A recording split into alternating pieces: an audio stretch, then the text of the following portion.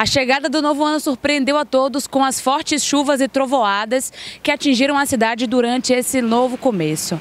E durante o fim de semana o tempo continua fechado. No sábado o dia amanhece completamente nublado e os ventos chegam a 30 km por hora com apenas 20% de chance de chuva, que no domingo cai para 10%. Mas o dia permanece nublado e os ventos também chegando a 30 km por hora. Temperatura em torno dos 30 graus, o que deixa o tempo bem abafado. Já na segunda-feira o sol volta a brilhar, com a temperatura também em torno dos 30 graus. Mesmo com o tempo nublado, não esqueça de passar sempre o filtro solar e se manter hidratado bebendo bastante água.